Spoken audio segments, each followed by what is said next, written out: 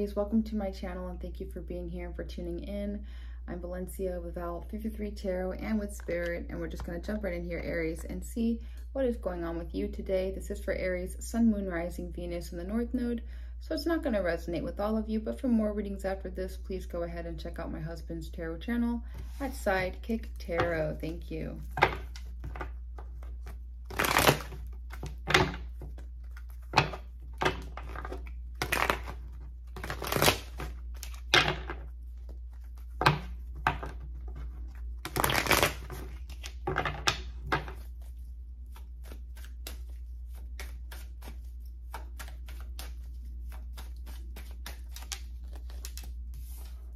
Okay, Aries, so you are having a good time, having fun, celebrating. Things are very exciting. There's reunions. There's all sorts of things. Um, you know, parties, celebrating, whatever may be here, having a few drinks, whatever, no judgment, you know, just doing your thing, hanging out with friends, um, circle groups, social groups, social media, just really having fun here, okay, with whatever it is that you are doing and experiencing today.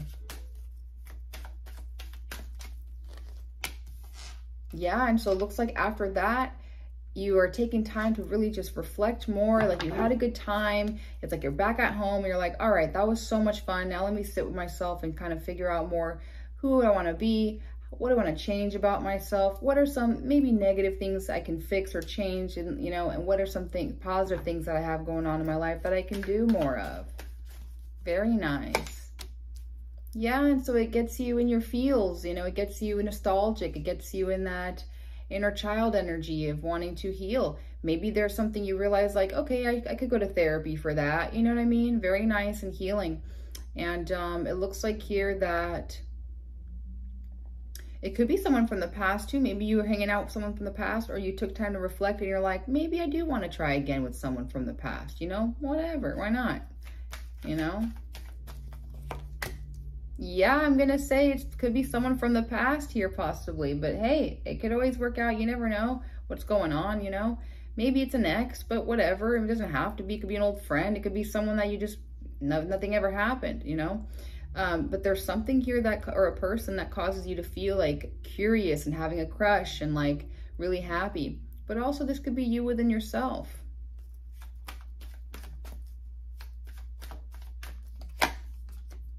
Yeah, there's that opportunity. Beautiful. So I'm going to say it's two storylines. Like there's an Aries here, you know, one group of you guys are like really happy and excited to create all of this on your own by yourself. And there's that opportunity. You accepted something, an offer maybe, um, a new chapter in life. And others of you, this is about a person that you've known from the past here, that there it is. You guys are there, you know, doing your thing, hanging out, or it's, it's about to happen here.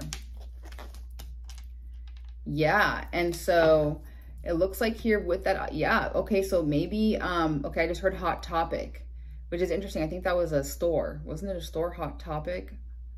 I think so. Like a goth store. Yeah. Thanks, babe.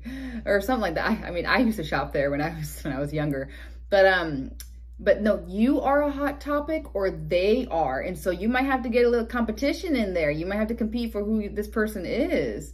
Um, some of you, you know, realize, okay, there's an opportunity. I'm going to go for it. I'm going to, you know, in a healthy way compete. You're someone, you, you used to be someone that was aggressive and like would just egotistically want to start fights with people.